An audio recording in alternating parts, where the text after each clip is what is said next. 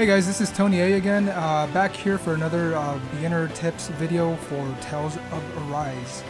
Alright, so to get started real quick, so uh, the first thing you're going to notice is um, when you're playing this game, the most important resource you're going to have to keep your eye on is going to be your CP. So if you see on the left hand side, on the bottom there, uh, you, you, see that I have 59 of 215 CP left. What are CP?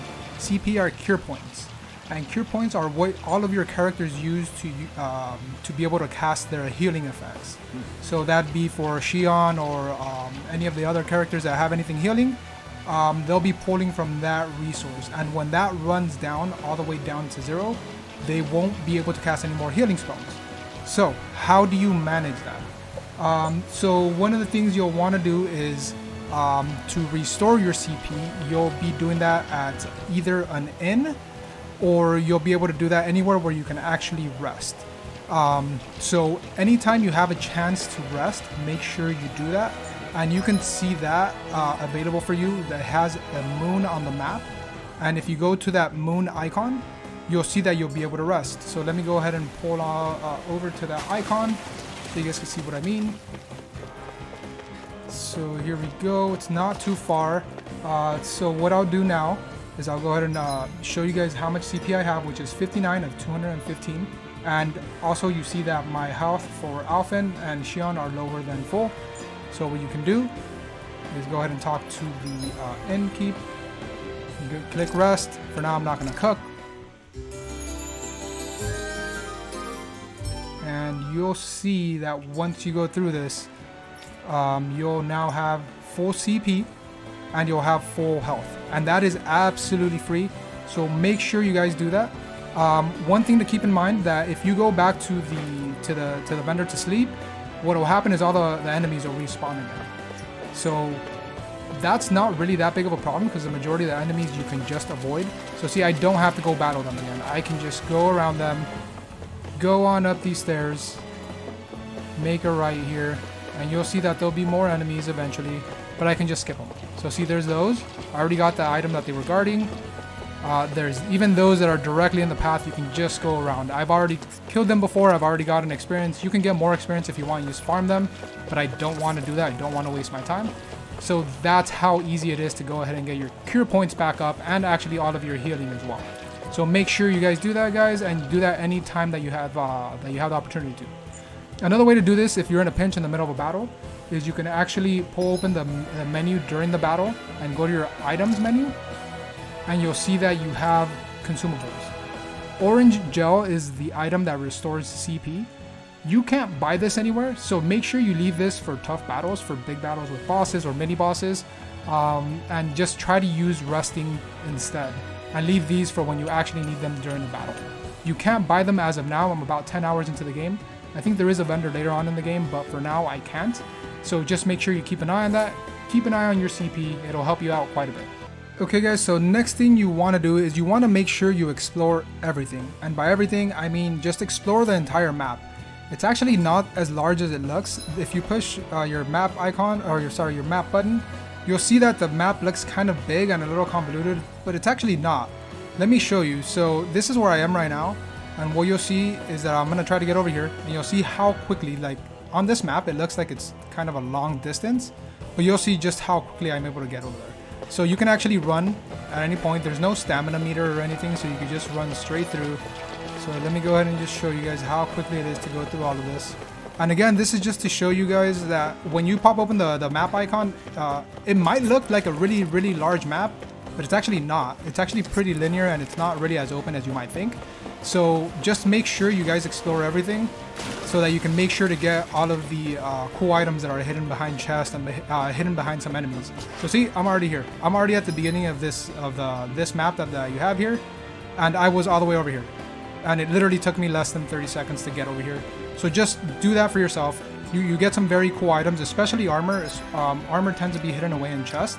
Um, otherwise, you're gonna have to buy it, and you don't get too much too much uh, gold, which is the currency.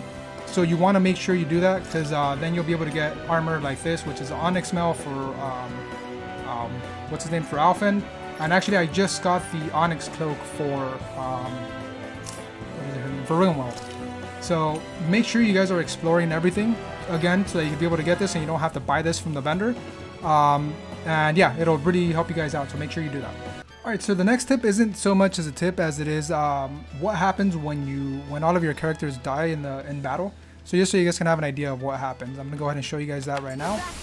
So I'm gonna so I already have Alphen down. Uh, so I'm gonna go ahead and play as Shionne, and then I'm gonna show you. I'm gonna let her just die, so we can show you guys what it is, like what happens. And these little guys, when it's a bunch of them, really, really I was So there you overconfident. go, Shionne down. So now let me go ahead and take over as Rinwell and let her die. So as of now, I have two or three CP, and now all of my characters are gonna be down. Take care of Hootle. There we go. So they're all down. And there you go. I spawned in the exact same spot that I started. The only difference now Not done is that um, basically the game auto cures you and it uses your CP. So now I only have 119 CP left. So that's all that happens. Actually, the, the enemies despawn that killed me. So not too much of a punishment. If you are low on CP and you're about to go into a boss battle, um, it might be a problem, but for the most part, it won't be. Again, because the, the, the, maps aren't really all that big. So you can just go ahead and run right back to the, uh, the resting area, rest, and get all your CP and all of your health back. And again, you don't want to just use your orange gels uh, too freely or too liberally. You want to use those for your boss battles. Alright guys, so next thing I'm going to cover is uh, whether you should buy uh, items or whether you should forge your weapons or what. So um, there's two things that you are probably looking at buying and selling. So one, if you go into the item shop, you'll see that there's a bunch of Curian type items which are pretty expensive and you tend to find these as you're um, exploring the map. So if you're doing the previous tip and you're just going through and exploring the map as much as possible, for the most part, I find that these are available to you as you kind of need them and you find them out in the wild. So you can buy one if you're running really low, like a life bottle might be a good idea for me to buy one. But that's also a thousand gold, and um, that's quite a bit. So if you see, I only have 2,600. So that's with those curing items. Um, and then with the armors, I find that the armors, like I said before, you're actually finding them out in the wild. And actually, this Onyx Mail, I had already found previously out in in uh, uh, during my exploration. So they also sell it now. So, but there's no point for me to buy it because I already have um, Shia, uh, sorry, not Shiana, Alphen equipped with it.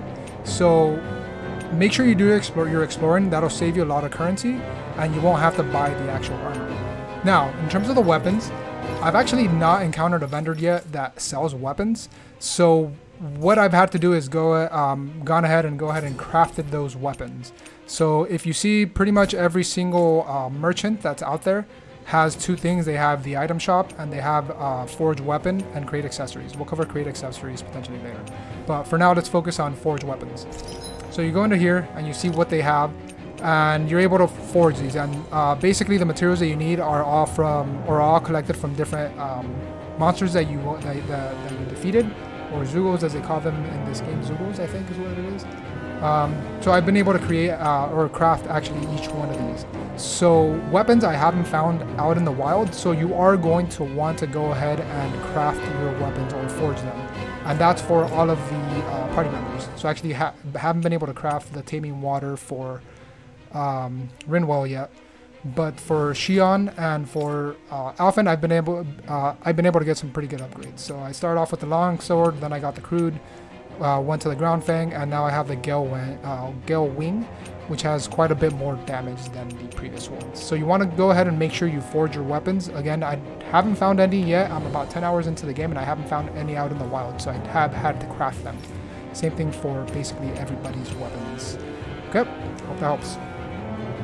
Alright, so the last thing I want to cover is just how to use the map. The map's a little confusing, especially when you first start. Um, you can't really use it for anything. So, um, first of all, you could push square. Uh, you push square, and that brings up, and this is on PlayStation 5, by the way. This might be a little bit different on uh, depending on which console you're playing. If you're playing on Xbox or if you're playing on PC, um, it pulls up the map, and this looks pretty barren. Like there's not much to it. Um, actually, what you can do is if you see on the uh, first of all on the top left corner, you see that you actually have different sections within this area. So right now I'm in the Cislerin uh, region, and you'll see that there's actually multiple places I can travel. So if you tab L1, R1, and whatnot, then you can go ahead and fast travel to different locations. Right now, due to the story, I'm not able to fast travel, but uh, once that story bit clears up, then I'll be able to fast travel and just go to any of these sections again. Now, what you can also do, and this is uh, not really all that easy to comprehend just by looking at the map, is you can actually push triangle. If you see on the bottom right of this screen, it says display map list. You could push triangle and then you can actually go to the different realms. So you see that there's a couple realms, uh, Calaglia, which is where you start, uh, Cyslodia, which is the next one, which is where I'm at right now, and then for now it's other. Um, I'd imagine once you unlock the other realms, same thing happens. You're able to just go and through here and go ahead and access the different realms. And again, right now, the fast travel, the little icon with the circle and the slash around it, um, is typically where you could fast travel, but right now because of the story I can't. But the cool thing about this is that also it tells you if there's any um, side quests there. So if you see the little envelope, that's a side quest I haven't started. If you see the green star, that's a side quest I have started, but I haven't completed. And same thing here, so if I fast travel to these locations, there's a side quest for me to do there. And then there's one to pick up right here. So make sure you do that. Make sure you use the map uh, to its full potential because it's actually pretty useful, but it's not very intuitive in terms of how to use it.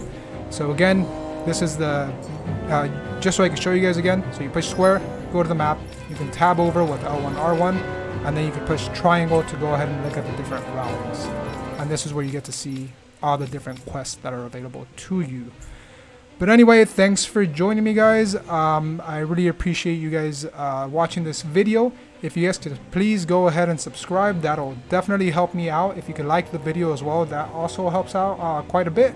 Thank you very much for your time, and I really appreciate you guys. Thank you.